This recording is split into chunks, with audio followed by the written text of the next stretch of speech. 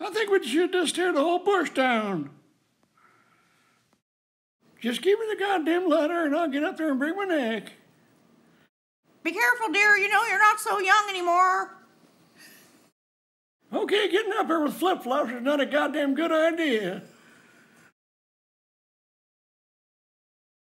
I'm gonna grab this bush and pull it down to you, honey. Get it hold of the nest.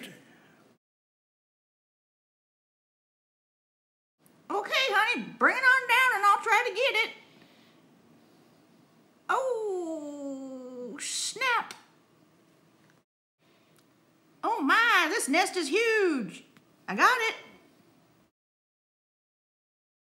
Okay, I'm coming down now. I survived. Let's get the nest over to the table. Where's your hat? Damn, I think I dropped it on the ground.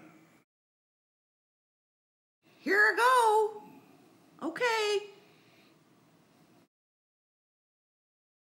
Wow, would you look at that? Mother Nature's work.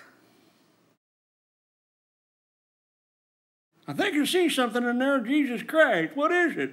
Hope the birds are still in there. I don't know how to get in there. I don't seem to see anything except poop.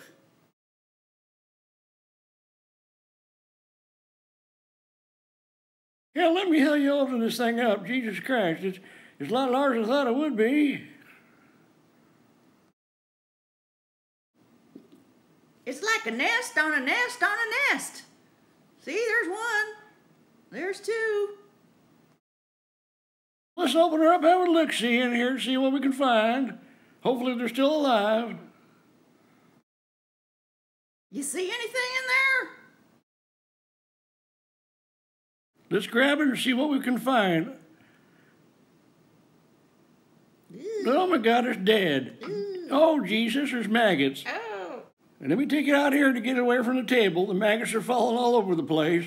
Let's open her up full, full cradle.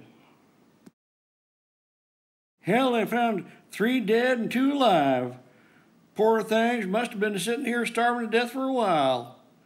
Hell, these little critters, oh, Jesus, they're getting on the grass. The two are running away. I better grab them now while I can.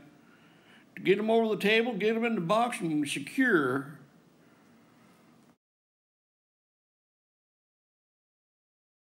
Here you go, honey. Here's the box. Poor little critters, who knows how long they've been starving.